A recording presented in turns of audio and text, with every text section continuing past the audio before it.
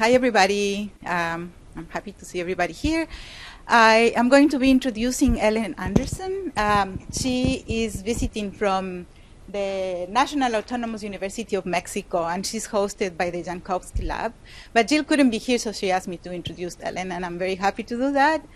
Uh, Ellen is originally from Peru, so she's a neighbor from where, neighbor from where I'm from. Um, she got her master's degree from Duke University and then a PhD from the University of Florida. And since uh, the year 2000, she has been a professor at the university in Mexico. And she's there at the Institute for Ecosystem and Sustainability Research. And she has done research in um, tropical ecology and conservation, ecology and conservation of primates and dung beetles and their interactions with plants, in particular uh, with seed dispersal. She has over 40 publications and directed 20 th- uh, theses, and she is currently sab- on sabbatical here in the department. Uh, and she will be here until July of next year. And she's actually uh, using Mary O'Connor's office, so you can find her there and she's going to be talking today about the multiple effects of dung beetle activity on seed and seedling fate in tropical forests. Thank you, Leticia. Can, can you hear me? This is too high tech for me. well, thank you for being here. Uh, it's very exciting. I'm very nervous too. This is. I thought it was going to be like when I said yes, I can give a seminar, a small seminar room, but this this is like an auditorium almost. So yes, I, as Leticia said, I, I am originally from Peru, and I did my undergrad there in biology, and then I did a master's and a PhD in the U.S., and I did my field work in Manu National Park for my master's, working with monkeys and dung beetles and rodents. And then uh, for the PhD, I went to Central Amazonia in Brazil, in the forests near Manaus. Perhaps some of you have been there uh, working in a big, big fragmentation project that um, the um, Smithsonian Institution and the local INPA institution have there. And um, since 2000, I work in Mexico. I during my PhD, I met my husband, who is sitting here. He's also on sabbatical with me. He's being hosted by the Forestry Department. And um, for our first sabbatical, we went to Seattle, and we liked this, this area of, of, the American continent so much that we decided to come back for our second sabbatical to this area, but try to avoid Trump too in the process.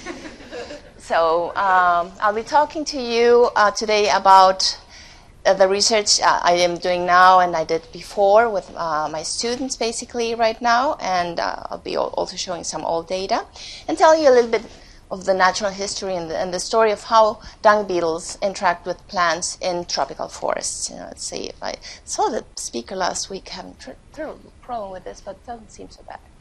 Okay, so I, first of all, I start to, uh, with the acknowledgments. I like to start uh, acknowledging and thanking the University of British Columbia, uh, the BRC, and the Zoology Department, Jill, for being my host during my sabbatical and also my institutions in Mexico. The CONACYT is the equivalent of the NSF, so most of my funding in Mexico comes from there.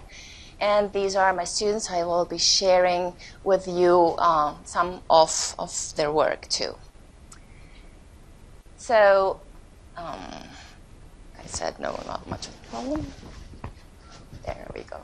Okay, I'll be talking about the true dung beetles. They're called the true dung beetles those that are in this subfamily here, within the family of the scarab beetles. This is a very, very diverse subfamily, about over 6,000 species worldwide. And uh, they're distinguished from other families that also feed on dung. And I don't know why they are uh, have the privilege of being called the true ones. The other ones eat dung too, but uh, and not all Scarabaeinae eat dung. Some others eat also are necrophagous or eat some other kinds of decomposing uh, material. And the oldest reliable fossil is, dates from about 50 million years ago, and but there's some more dubious fossils, and, and the, the group may be as old as 140 millions, according to the fossil record. So, ooh, ooh, it does that on its own. Oh, interesting. there. So dung beetles have played a role in ancient history in many, many civilizations, very old ones, thousands of years ago. Not only in the Egyptians, which is the most well known, but also cultures in South America believed that um, um, a dung beetle formed from clay the first man and the first woman. And in many myths in Southeast Asia and what is today India and the Greeks, and of course in Egypt, dung beetles were associated with the creation of the world. And uh, in Egypt in particular, the sun and the scarab both represented the sun. And so it, it was analog to the sun setting down and dying towards the west, and then the next day being rejuvenated and rising. So this is Khepri. This is the god of the rising sun is sometimes represented as a scarab and sometimes as a human with a scarab head. And interestingly, what apparently some, some people believe is that the, the process of mummi- mummification tries to resemble the process of basically the dung beetle pupa. So if, if a scarab is being able to, uh, from dung, emerge a new being, and then the sun is doing the same every day. Why can't humans do that too? They're not as glorious as the sun, but not as humble as the beetle, so they probably can do that too. And so uh, the process of mummification is thought to imitate the, the pupa, the grub, no, not the grub, the pupa of the uh, dung beetle. So, what do dung beetles do besides being responsible for all of creation? Well, they, they eat dung. Those that eat dung eat dung. And the adults feed on the liquid part of the dung, the, and then they use it for building nests underground. And they're uh, globally distributed, as I said before, and uh, except in Antarctica and parts that are always covered by snow. But otherwise, you can find them everywhere where there's dung. And um, there's three basic functional groups depending on how they build their nests and what do they do what they do with their dungs. These are the dwellers, and they basically lay their eggs in little nests just underneath or inside the dung pile. And then you have the tunnelers, also called the burrowers, or the more uh, elegant name, the paracoprids. These make tunnels just underneath or very close to the dung pad, and then they start pushing portions of dung inside. And then you have the, the like the star of the family here, of the group, the ones that are always depicted in the nature um, videos, the rollers. And they just take a little bit of dung, make a ball, and roll it away one meter, two meters, three meters, up to 10 meters, perhaps 15 meters, usually not so long. And then they make the burrow to lay the nest uh, the, the so and then they lay eggs in each of these where the larva will later develop. And of course, this gets rid of all the dung, and this has enormous consequences for the ecosystems. So, what are the uh, ecological functions that are derived from this uh, dung bearing behavior they have? And this has been well studied since the 60s and before but mostly in grassland and uh, pastures, productive uh, systems, also lots of experiments in control environments, mostly also in the temperate zones, not so much in the tropical forests, and not so much in natural conditions. But what they do uh, with their dung bearing behavior is they aid in soil conditioning. So by making the tunnels, they aerate it and they make it more uh, uh, porous. This is called bioturbation. They help in nutrient cycling. They help avoid the loss of much nitrogen that is in the dung. This will in turn help uh, the plants to take up makes makes some of the nutrients more available to plants, and this increases uptake by them. And it has been shown to increase uh, growth of pasture plants. And it also helps their pests like fly pests and enteric parasites that are in the dung or breed in the dung. And so by burying the dung, they will help controlling those populations or also just lowering the transmission rate. And uh, recently, uh, some studies have shown also that they may be quite important in lowering the emission of some greenhouse gases associated with the cattle industry. And so there's a lot of things they do and that have value for human beings. And so these are called ecosystem services. And people have actually gone in several studies, not many, but several studies, and tried to put a, a, a dollar number to it. And they have come up with huge numbers. Like in the UK, they estimate about almost $600 million per year in value for their ecosystem, for the uh, ecosystem services associated with dung beetles. In the U.S., the study calculated almost 400 million, and in, in a state in Mexico, just the most recent study, just for one state, also almost 500 million dollars. It varies how these estimations are done, and most likely they are underestimated, but it can be arguable. Uh, and so you may know about the, the problem they had in Australia. In Australia, when they brought in cattle, they, they have some native dung beetles, but they're adapted to feeding on marsupials, more marsupial dung. And so they had hectares and hundreds and thousands of hectares just being fouled and covered with cow dung. And so they, they started a huge, huge project in the 50s and 60s. They introduced dung beetles mainly from South Africa. And they had a great success. It was one of those success introduced species stories where they really got rid of, of most, much of the dung with, with the beetles that uh, stayed there, which was about eight species that finally are doing the job in Australia. Um,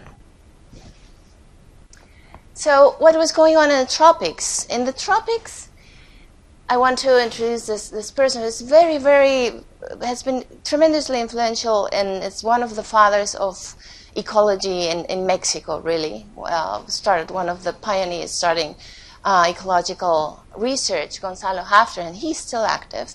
And he works with dung beetles. He's an expert on dung beetles. He had worked any aspect on dung beetle nesting behavior, biogeography, evolution, and you name it.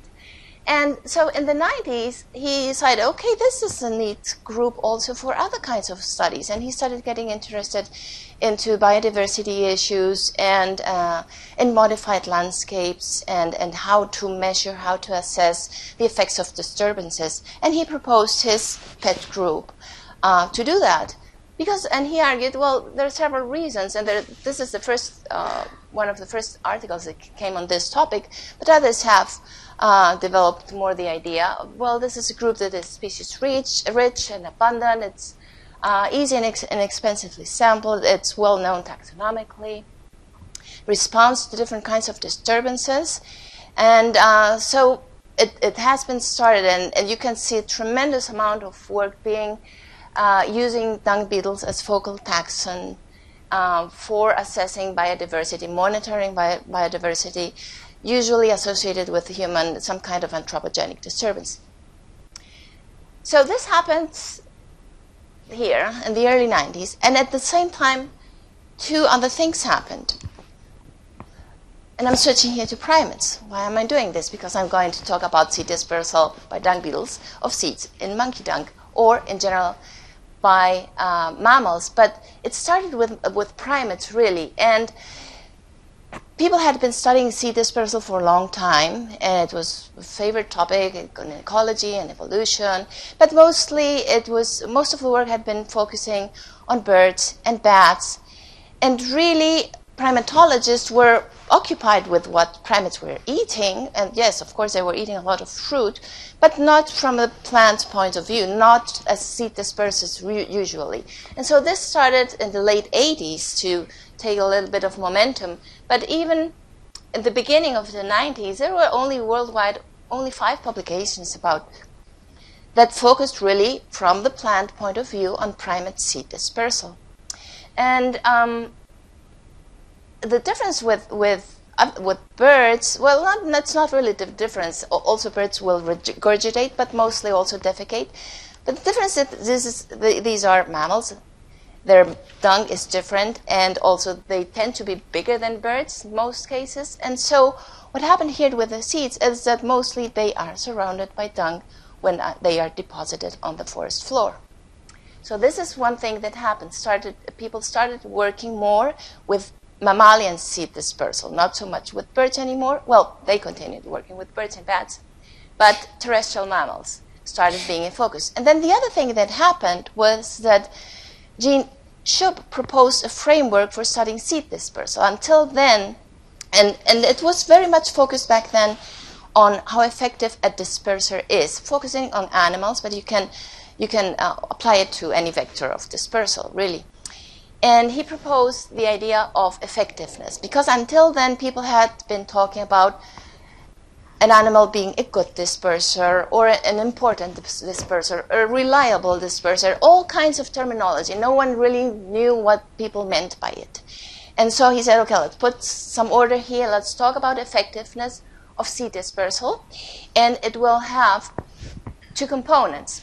It will have a quantity component, which is just a number of dispersed seeds, and we'll multiply that by the quality component, which is the probability that the one of those dispersed seeds will actually become a reproductive adult. In reality, particularly when you work with trees, that's difficult to measure, so people use proxies, and usually it's some measure of seed survival, seedling establishment, seedling survival. Um, usually doesn't go well beyond that unless you're working with annual plants and people can actually measure this. The thing is that so seed fate started really becoming an, an important issue and still is, but it's difficult to measure because then everything that affects seed fate after it has been deposited will determine seed quality, seed dispersal quality, and thus dispersal effectiveness. And for the case of mammal, mammals, one thing that was not being taken into consideration is that yes, most seeds are defecated and so they end up being deposited in fecal material and it has to be taken into consideration. So people started seeing now seed dispersal as a more complex, multi-stage process where you start with seeds in the plants, and they can fall on the ground and be taken as also as primary dispersers from the tree or the, from the ground. But the story for the primary disperser doesn't end there if we want to assess its effectiveness. We have to go beyond. And all which is here is really the quality component of effectiveness. What happens to the seeds afterwards? So they may, they may germinate, best case scenario, and establish seedlings. But what people started seeing is that often seeds were removed. and it still is the case still uh, that people assume that removed seeds equal predated seeds. So when you went back to your experiment, didn't find a seed, okay, it's gone, it's dead. But then they realized maybe this is not so the case. There are lots of secondary dispersers, and not just dung beetles, also rodents, which are the bad guys here because they eat seeds, they often will also act as secondary dispersers. So, what was the story then? If we wanted to assess the effectiveness of a primary disperser, be it a, a mammal in this case, a monkey, then we have to take into the consideration how this animal will deposit, where, how, when does it deposit the seeds, and what animals come are attracted and affected by many aspects. These are just a few that have to do with the primary disperser, but will affect also if these other guys come or not and what they do. So things associated with the primary disperser, for example, size and the diet of animals, will depend the texture, the smell, the size of the dung, uh, and the seeds, how many seeds are clumped together. And the dispersal pattern will be affected by the behavior. And uh, the social structure, is it solitary? Is it family groups? Is it the fission fusion like the spider monkeys? And also, all those aspects are related to the, to the primary disperser, but will also affect the secondary dispersers the seed predators, and I'm simplifying here, I'm not even considering pathogens or other abiotic factors even. So this is the same figure as before, only modified to show you what dung beetles do with the seeds. So basically, dung beetles, again, they eat dung. They don't eat the seeds. Although we don't know if the grubs may some, when they start developing, they have different kinds of mouth parts than the adults. They may actually prey on some of the seeds, but that's unknown. so the red things here are the seeds, and so anything that is a movement of the seed after the primary dispersal vector, and it can be the primary dispersal can be wind if you wish, anything. After it's deposited, any other movement is called secondary dispersal. Even if it happens three, four times, doesn't matter. It's secondary dispersal. And so dung beetles can disperse seeds in different ways, mostly horizontally, mostly done by the rollers. When they integrate some of the seeds in their dung ball, or more often just vertically, or it can be both if it goes diagonally like this. So this led some people to propose that perhaps there are some systems that aren't as simple, and they called it. This is a name that was sort of used in the 70s, and, and no one paid attention to it, and so it was revived. The term is diplochory. A diplochory system is when you have a primary disperser and secondary dispersers being of different species, different groups, so it doesn't include when you have primary dispersal by wind and then the seed being moved again by wind. It has to be different agents. And they propose also that it, it's sort of a package, and it evolved as a package because of selective pressures and because of it, it having certain advantages than when you only have one disperser. So in that, to distinguish it from primary and secondary dispersal, they call it phase one dispersal and phase two dispersal. That just complicates things, I think, unnecessarily. It's still secondary dispersal. But the thing is, they argue that the advantages are usually different. So the primary disperser will give to the plant the advantage of escape, escape from a zone near the parent tree where there is distance dependent mortality or density dependent mortality or colonization of new areas randomly, while the phase two often will put the seed, and we are also talking about things like uh, um, seeds being taken by ants, for example, into ant nests, and uh, rodents um, scatter hoarding seeds. And in common, many of these aspects have that they, the, the seeds will end up lightly buried or deeply buried sometimes, uh, which is not so good. And so they argue that this gives the advantage of directed dispersal. That this is an advantage where the movement of the seed is deterministic and it goes to sites that have a certain probability associated with it being better for the seed to survive or for the seedling to establish. So let's look at the numbers. What do dung, what are then dung beetles doing? This is a review I did many years ago, and shows you uh, from different parts.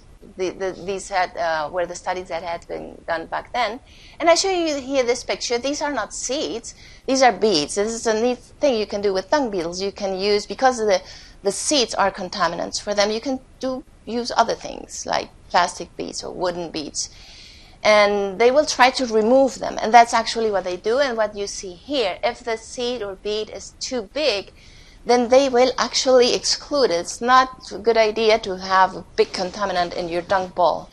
And um, if your larva is supposed to be feeding on the dung and not on the seeds. But if you see here, the amount of seeds that are buried, this is just burial, can be quite high for small seeds. But even very, very large seeds, three centimeters, can some of them be buried by dung beetles. Mm-hmm. And what about horizontal dispersal? This has people have not paid much attention to this aspect because it's quite limited. Usually it's within a meter. But it doesn't mean it's not important. So if you have a, I don't know, imagine a tapir dung, which hundreds of seeds in there even a monkey dung, and it has hundreds of seeds.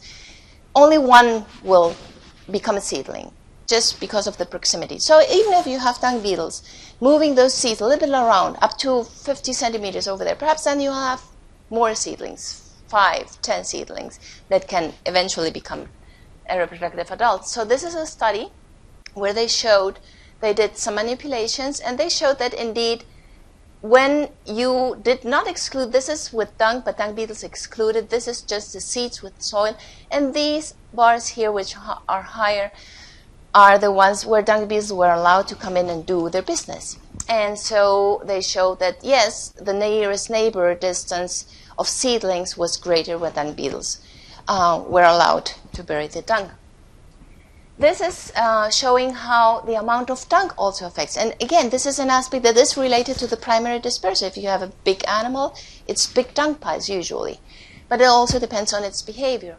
And here you see, so the, the, the lines on top represents seeds that were in a larger amount. And I'm not talking huge. This is 25 grams of dung.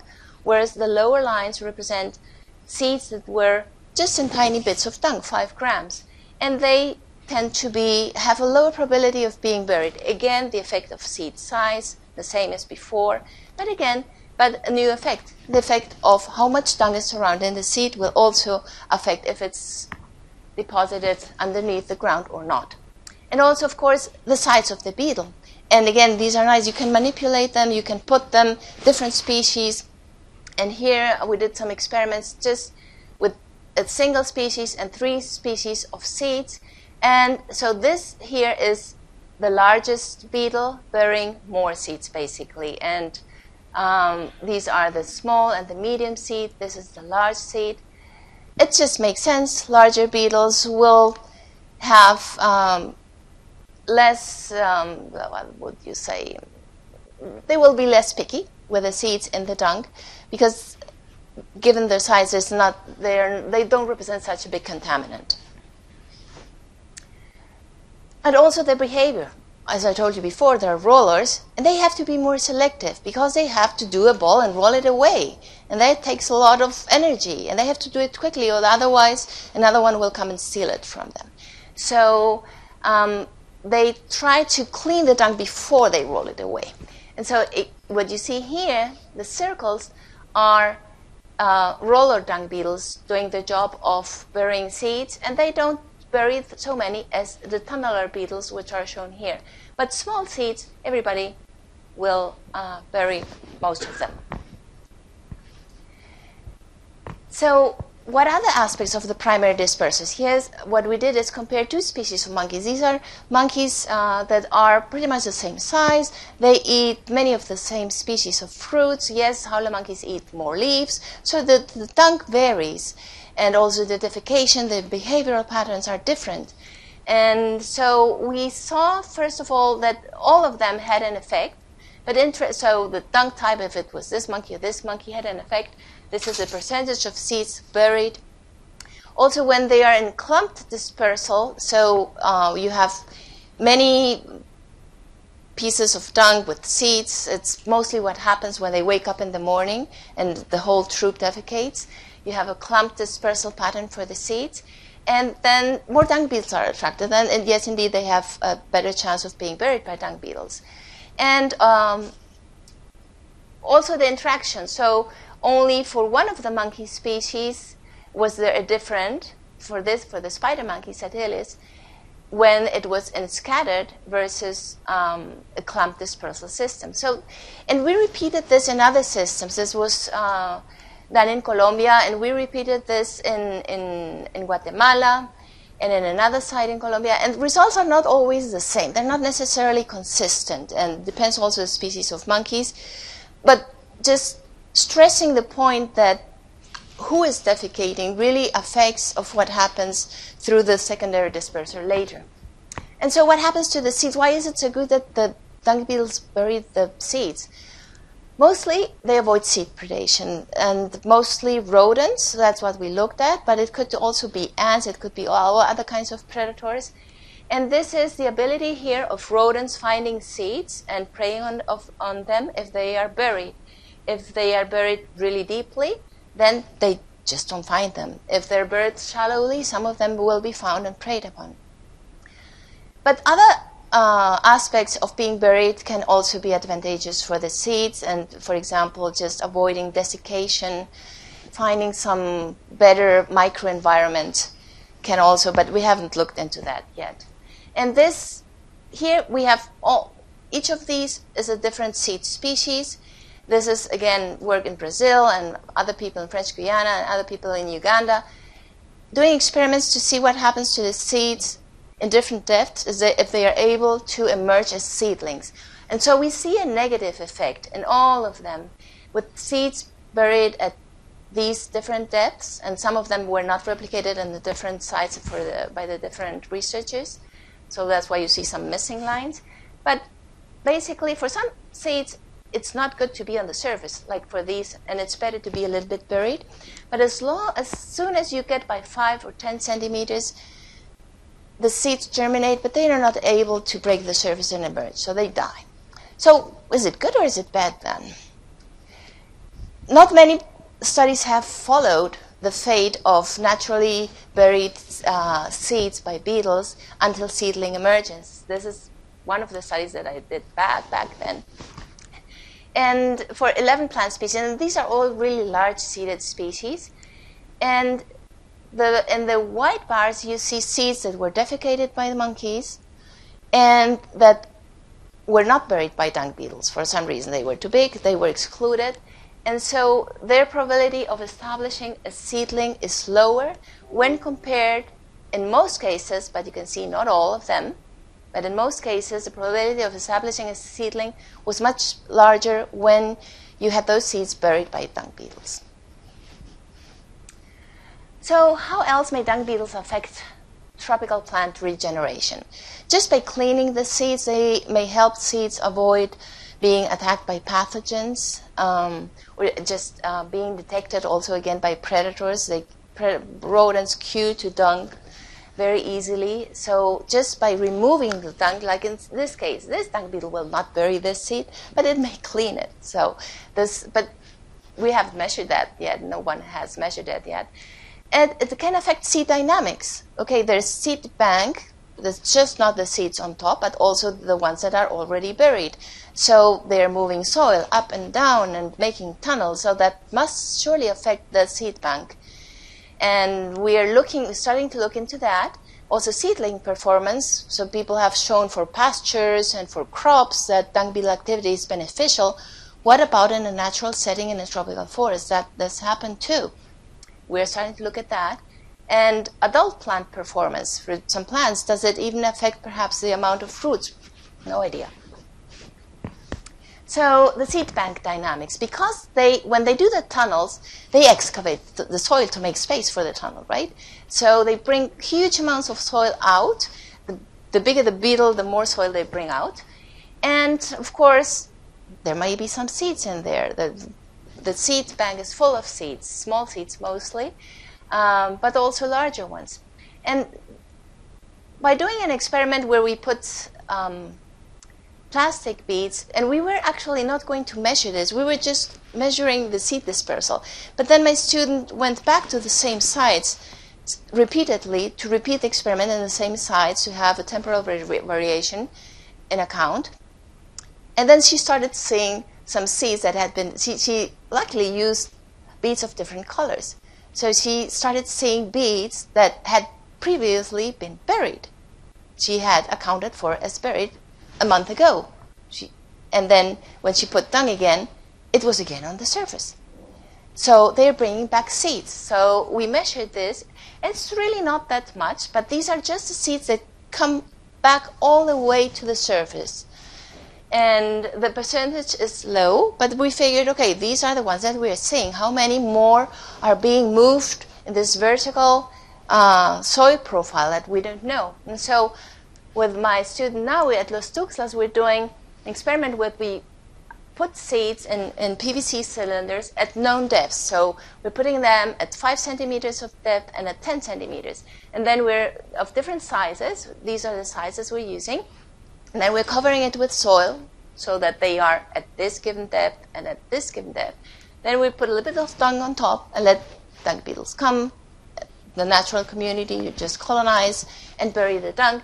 And then, with lots of patience, she will just take centimeter by centimeter of soil and measure where the seeds are found. And yes, indeed, so these are the different colors for the different um, sizes. this arrow marks where we put the seed. So most remain where they are. If you see this is broken here, because most are there, and these were put at 10 centimeters. But again, as we see before, a low percentage, but still some, are being moved upwards, but also some are being moved more deeply. So they are moving lots of seeds around. In the, and, and so they are affecting the seed bank dynamics. So the idea is okay, perhaps not for those going downwards, but for those coming up, are, is this affecting the seedling establishment? Because many seeds that are buried in the soil, they will eventually need to be taken back closer to the surface so that they can germinate and establish as a seedling. And so we just put buckets open um, without a bottom in, in the rainforest, and in some of and we removed all the seedlings, and we put some dung in, in one of them, and let in two days everything is buried. Sometimes in a few hours everything is buried, and then we covered them so that no new seeds would come in. And so everything that is establishing supposedly is coming from the seed bank. And yes, what uh, my student found was that yes, where uh, we had put dung and dung beetles had been active, we have more seedlings and more seedling species than the natural establishment of seeds from the seed bank. So yes, they're having a positive effect. But then if you figured, okay, we should have had another treatment, perhaps just dung without beetles. How about that? We didn't have that back then, so we repeated it, having this other treatment. So in some buckets we put dung beetles and let uh, we put sorry dung and let dung beetles naturally colonize. In others we closed the access to dung beetles but put the dung, and in others we had no no beetles and no dung, and looked again at seedling establishment. And we did this in a dry forest and also in a wet forest, different from the one before. In the dry forest, it seems uh, that, yes, basically here you have no beetles, no dung, as in the previous experiment, and here you have the dungs and the beetles. And again, you see the same difference. This is just for number of seedlings. But it seems that the dung by itself, without the beetles, is also doing something. Can't forget that there's other things in the soil, not just the dung beetles coming in, but there are also, they may be termites is a dry forest, so termites are probably playing an important role here in, in processing dung or other macroinvertebrates in the soil. But something is happening just by having the dung. Also, perhaps just its moisture may help some of the seeds uh, germinate and establish as seedlings. And here in this rainforest, it's just not behaving the way we wanted. But this is preliminary. This is only after five weeks. And what she saw at the beginning was that yes, in the dung beetles, it, where dung beetles were active, there were more seedlings, but when compared to where you had dung and um, no beetles. So here the effect of beetles is important compared to this one. But interestingly, this one that had dung had fewer seedlings than this one that had, for example, no dung and no beetles. Here we're thinking that perhaps the if the dung remains, it takes some surface and that avoids perhaps hinders seedlings to emerge. But this is just preliminary, so we have to continue with that and see what happens. So, and then what happens to seedlings? This is all going on with seeds. What happens if the dung is falling in the vegetation, it's falling in the understory, it's falling near plants all the time? What happens to the plant that is next to the piece of dung that is being buried by dung beetles? So, we looked at seedlings of this species, which is the Moraceae, and we placed dung near the base of them. And in some, we allowed dung beetles to colonize. In others, we did not allow the dung beetles to colonize. And others, we didn't put any dung. Mm-hmm. So these were, again, the three treatments. And this is what we found for this one species. And this is for nitrogen. So yes, we know that of course if there's dung, the, the, the soil will be increased in nutrient content. But is this reflected in the plant as well? And so we um, took measurements for foliar nitrogen and foliar phosphorus. And in, in both cases, yes, the difference was significant. For these here are is the amount of nitrogen and phosphorus when you had dung beetles active where compared you didn't have beetles or uh, or dung, and here you had beetles, uh, no beetles, sorry, but dung. But really, the difference, at least for phosphorus, the dif- difference is made when you have the dung beetles incorporating it into the soil. And here you see that uh, there was a lot of turnover of leaves, but net growth in terms of number of leaves, the seedlings with dung beetle activity were doing good, better, but they were dying more also. So the percentage of survival was not so good. And many of these seedlings uh, started to die. We don't know exactly why. It seemed like perhaps some pathogen attacked them. It has been seen with herbivores that, yes, when seedlings have more nutrients, they're also more yummy. They attract more uh, predators, more herbivores. It can be also the same with pathogens. But so we're repeating those experiments with more species in a different tropical forest. So switching gears a little bit, show you what else you can do with dung beetles using them as a focal taxon for assessing habitat changes and also for uh, assessing the relationship be- between biodiversity and function. And as I said before, they're easily sampled. You just need some pitfall traps. They can be sampled in other ways, but most people use pitfall traps. They can be lethal, and so they fall in here, they drown. Or they can be live ones, where you capture them and take them to the lab, store them, and then you release them again.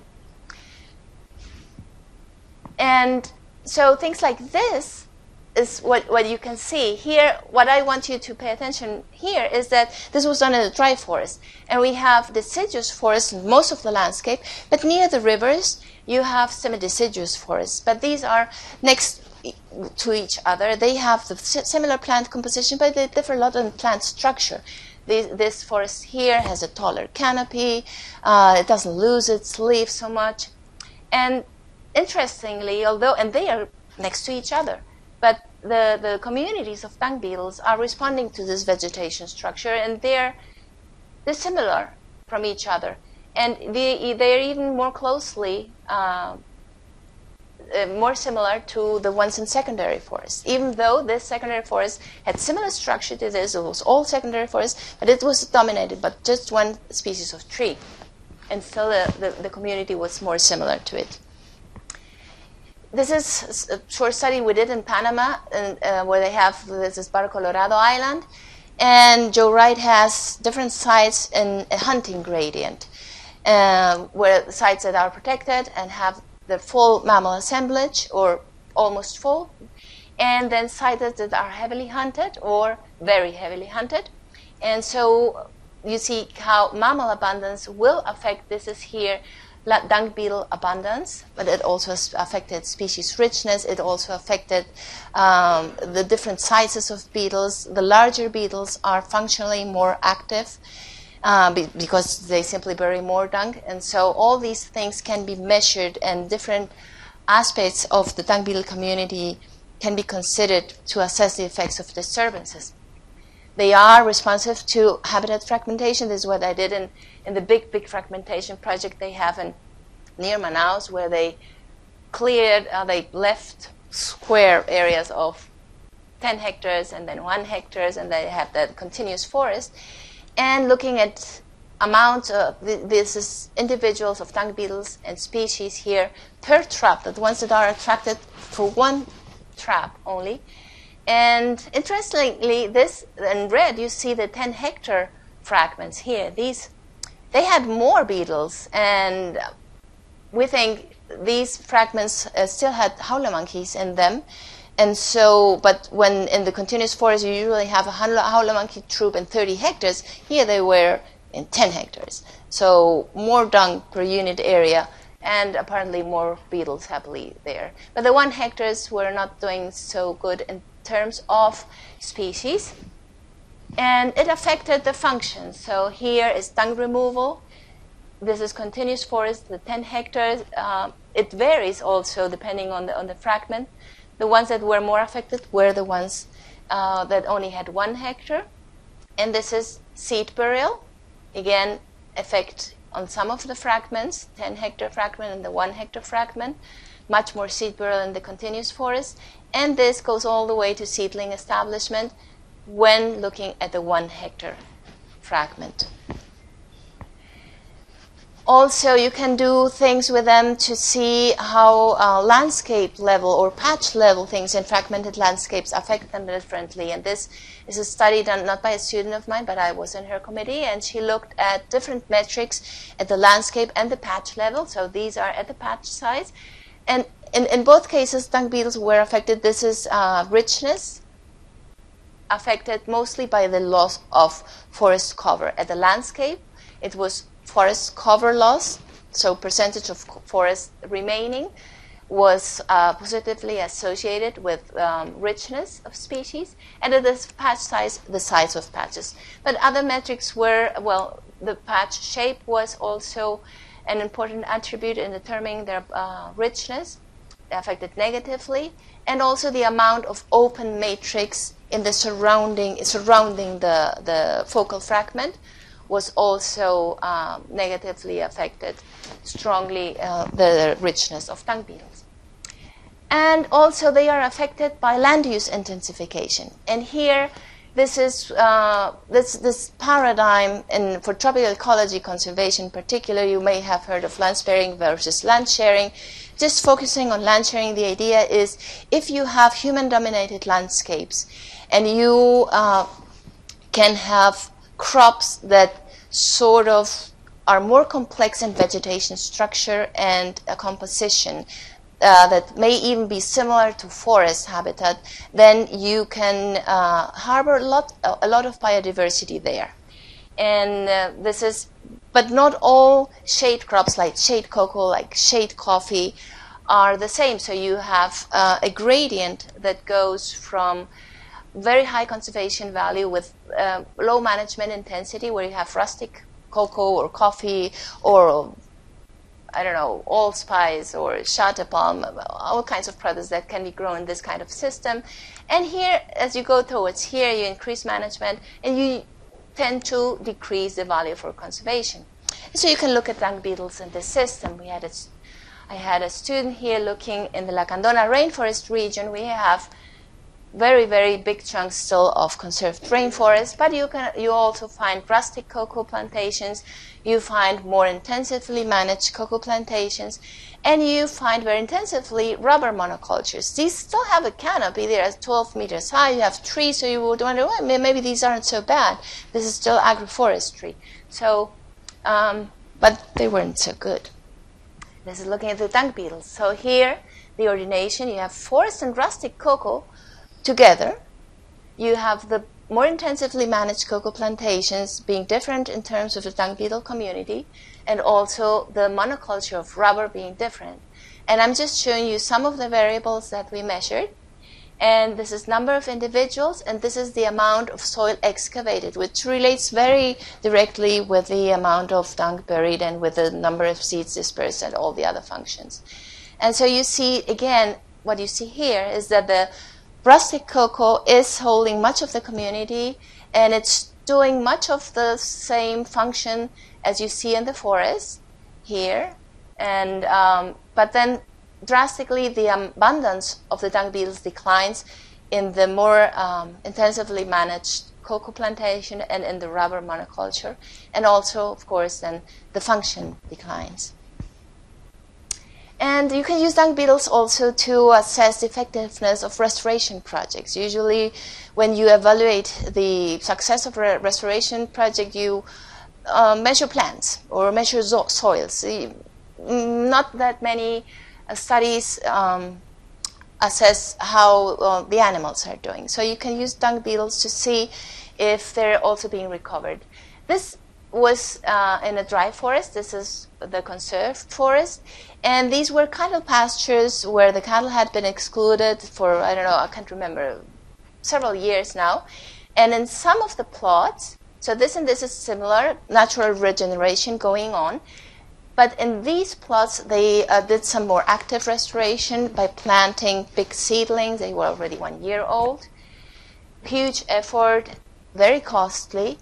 And sure enough, probably because of the time that had elapsed, only three years, four years, we didn't see any difference really. These two are the expensively restored sites, and this here is a natural regeneration in terms of abundance of beetles, species, number of species, and their functions here dung removal, seed dispersal.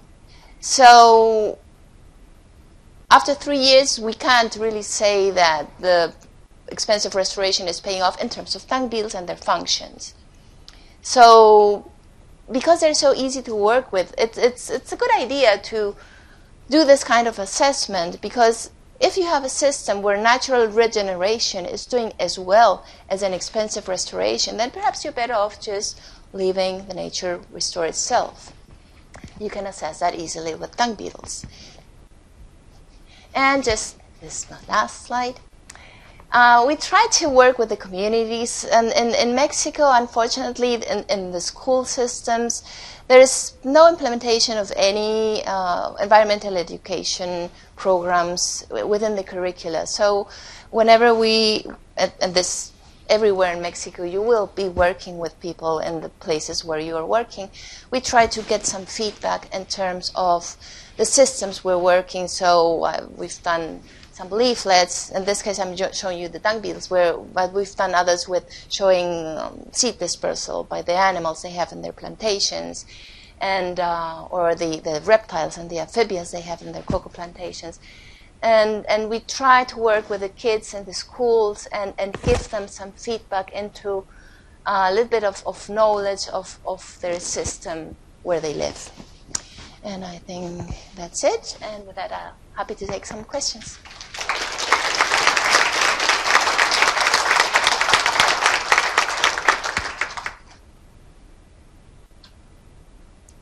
Yes.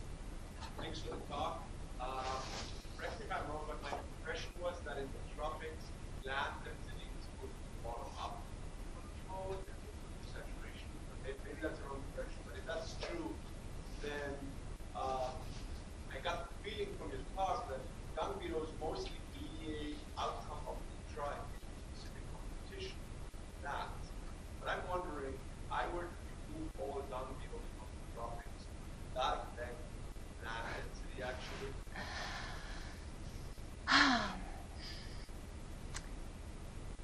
I don't know. I don't think anybody can answer that. It's, it's, it's, really, I mean, that's the fun working in the tropics. It's just not bottom up. There's so many other factors, and, and the role of, of herbivores and pathogens, and, and there's just so many interacting interactions going on at the same time that uh, things like, like herbivory, for example, play a, a huge role in, in, affecting diversity, right? But many of these things are measured at the seed level, at the seedling level, at the sapling level, perhaps, and it's hard to, um, because of the lack of time uh, there is in the generation of, of these long-lived plants, to be able to ascertain what will be the long-term effect, and we're talking really long, long term here and, and maintaining these uh, species diverse systems. So no, I can't answer.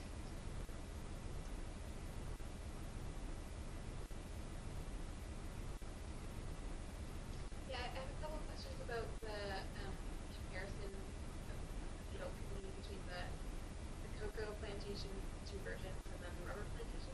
I guess one is um, what do you think is driving those differences in function among beetles?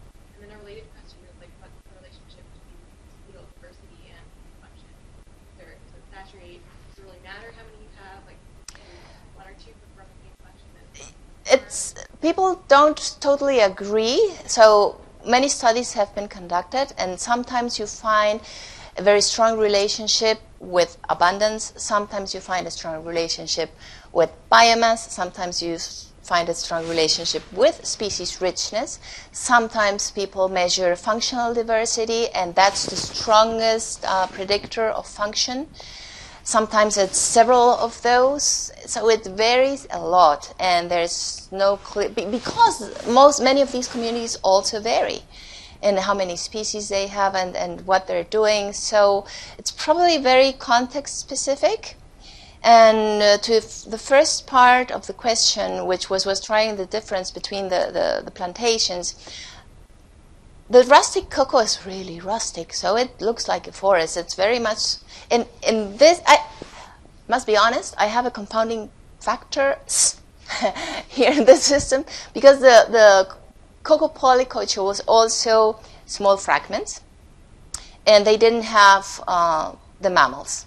So it could be probably a lack of the mammals. It, the fragmentation itself could also be affecting because they the polyculture cocoa was surrounded by um, by pastures or annual crops, whereas the cocoa plant, uh, the rustic cocoa was immersed in a huge matrix of more cocoa plantations and contiguous to forests, one side, the other side pastures.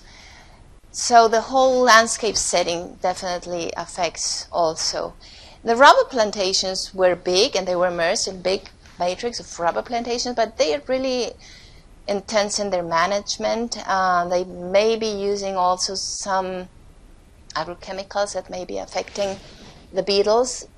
In this case, probably the change in forest structure. These are neotropical dung beetles are really sensitive, not, not, not like in Africa where you have many species also adapted to more open savannas. Here they are rainforests. And so if, even if you have a clearing, a small gap, they won't go in there.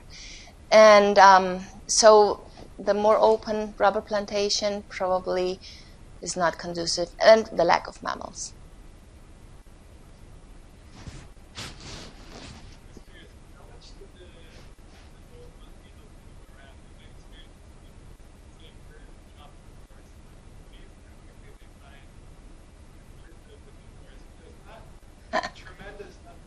He's been in the rainforest. How how did they, what, what are they doing and how often do they find, uh, uh, Uh, well, they depend on it. So they, but there's tons of it. Don't worry. Um if you don't have a defaunated site, like the hunted sites, right?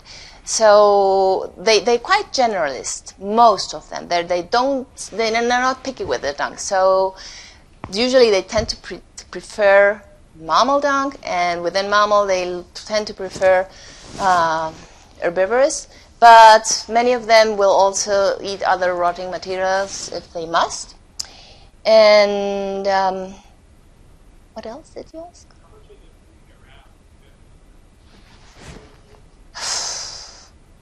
All of it. So you would have to calculate first how much is produced, and there just one beetle, probably about twice their size. And and then because they use it for laying for, for, for their nests and for feeding of course. So they feed some, but they, they as much as there is they can do multiple nests. And I mean, yeah, they, they're quite efficient. It depends also on the system. In some systems, even tropical systems, which are more seasonal, during the dry season, they will just stay inactive. And so that then you can have dung accumulating or probably termites and other macrofauna taking care of it. Um, but in, in tropical, more humid rainforests, they, they are very abundant and they are very efficient uh, as long as you have a full set of the community working there. One more question.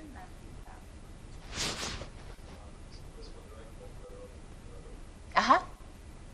So uh, they're, they're doing that like, because like it's isolated mountain, but like a lot of situation that comes. Yes. And your slide doesn't show that that's where because this is what people. So I was Yes. wondering what would be their effect on this cover features like diamonds or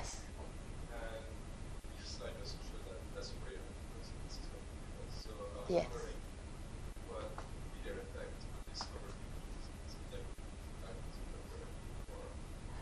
Well, that's what they have showed in this system. When you look at the different interactions with different animals, and I don't know exactly what would happen with the interaction with dung beetles, but for example, in the defaunated sites where that you lose bigger mammals that are acting both as predators and as dispersers. You're losing the dispersal, but you're also losing the predation, and it's actually benefiting some of the plants they studied, which are the palm, some palm uh, species. You're getting more infestation by bruchids, but it's it's not overwhelming the the um, success of the plants. So they're recruiting more seedlings. So compensatory effects again. Are very, very context specific and, and difficult to um, predict unless you have some empirical measurements of, of your system.